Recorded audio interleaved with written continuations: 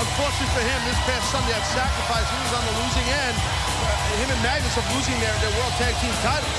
Kazarian and Daniels. So I don't know if I'm Kurt Angle right now, if I want to deal with Samoa Joe, but you have to. Massive opportunity here to go on to fight night to get an opportunity possibly at the world title. Well, you're right, because one week from tonight, it's the return of Gut Check. And it is open fight night challenge issued, must be accepted. And in addition, we already know Hulk Hogan told us earlier that the World Heavyweight title is going to be the championship that's going to be defended. Hulk Hogan's going to pick one of four men to face Bobby Roode for that title one week from tonight. We've already qualified three. Let's find out who number four is going to be. Kurt Angle smart. He realized that, that, that nasty flurry right there by Joe. So what Kurt does, he gets out of the ring and stops Joe's early momentum. Kurt's figuring, hey, I'm going to dictate the pace here. It's a cautious Kurt Angle that re-enters the ring to square off and face the Samoan submission machine.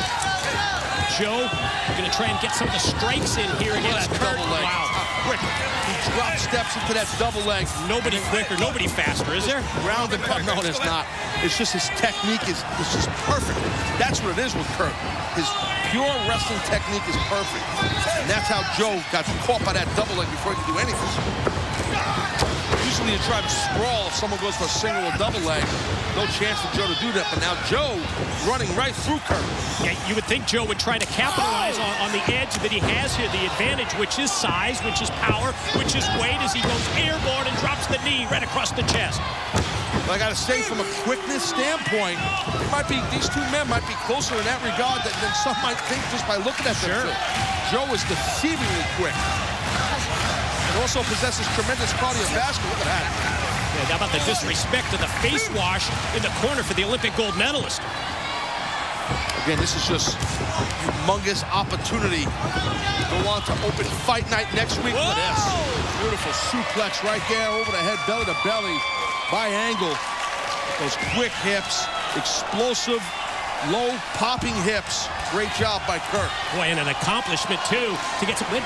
What's the story here? Bobby Roode, our world heavyweight champion, coming out to watch. We got to take a break. More of Samoa Joe and over Kurt here? Angle. Who's heading over here? This, I don't know.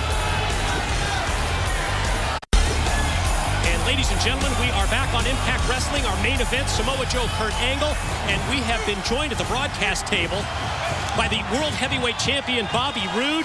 And Bobby, your, uh, well, your celebration of domination that you proposed earlier tonight, let's just say Hulk Hogan had other thoughts, eh? Yeah, my celebration of domination. Seven days from now, I can become the longest reigning world heavyweight champion in the history of this company. And Hulk Hogan is taking that opportunity away from me. Next week, I have to come out here and I have to defend my title against one of four men. Well, you know, champ, you know right now, Bully Ray has advanced. AJ Styles has, has advanced, and so has Jeff Hardy. And now, obviously, we're trying to see who's going to advance here between these two men. You have a preference. I mean, that's the obvious question. Who would you like to face? Look at Taz, I have beaten everybody there is to beat in this company. I'm not afraid of anybody. There's nothing and no one that's going to stop me from becoming the longest reigning world champion in this company's history. Nobody. I can tell you, whoever it is that you're going to face, you've had a, a long history with all of these individuals, from AJ Styles to Bully Ray to Jeff Hardy, or even one of these two, whoever it's going to be, that wins this matchup between Samoa Joe and, and Kurt Angle. I've beaten Jeff Hardy. I've beaten AJ Styles. I've beaten Bully Ray. All right? I'm not afraid of anyone. I will, at the end of the day, walk out with my World Heavyweight Championship, and I will go down in history as the longest reigning champion ever.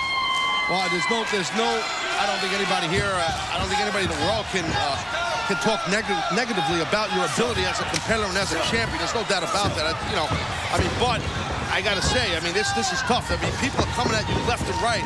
Since you're the world champ, you know you're a marked man. I mean, that's got to be tough to deal with. That's part of the that's part of the program. When you're the world champion, everybody wants going for you. Everybody wants to be the world heavyweight champion. I've wanted to be the world heavyweight champion for 13 years, and I am. Watch this pin here by Joe, and no, just a two count. Well, well, think about the possibilities. What if Hulk Hogan picks the phenomenal AJ Styles to challenge for that title belt as we see the snap slam and the pin, and no, no.